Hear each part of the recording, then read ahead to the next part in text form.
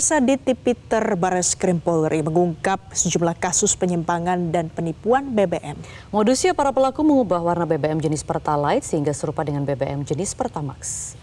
Direktur Tipiter Bares Krim Polri, Brigjen Pol Nunung Syaifuddin menyebut sejak Januari 2024 telah ada 17 kasus yang diungkap oleh Bares Krim. Nunung mengatakan hingga saat ini puluhan orang telah ditetapkan sebagai tersangka. Bareskrim menjelaskan tersangka mencampurkan pewarna ke BBM jenis Pertalite agar menyerupai Pertamax dan dapat dijual dengan harga yang lebih tinggi. Modus ini melibatkan sejumlah tersangka termasuk operator, manajer hingga pengelola SPBU. Beberapa SPBU yang tertangkap melakukan operasi penyelewengan ini di antaranya berlokasi di Karangtengah, Tangerang, Pinang, Tangerang, Kebun Jeruk, Jakarta Barat, dan Cimanggis, Depok.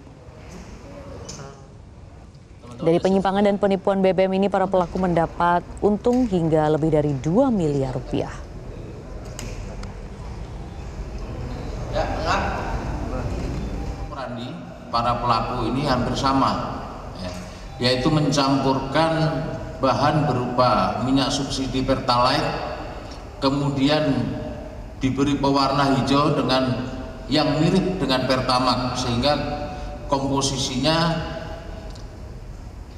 1000 eh, 10.000 liter pertalite dibanding 10.000 liter pertamax per pemesanan atau per PO dan kemudian diberikan satu warna sehingga warnanya pertalite ini mirip dengan eh, pertamax lalu dijual dengan menggunakan harga pertamax. Jelajahi cara baru mendapatkan informasi. Download Metro TV Extend sekarang.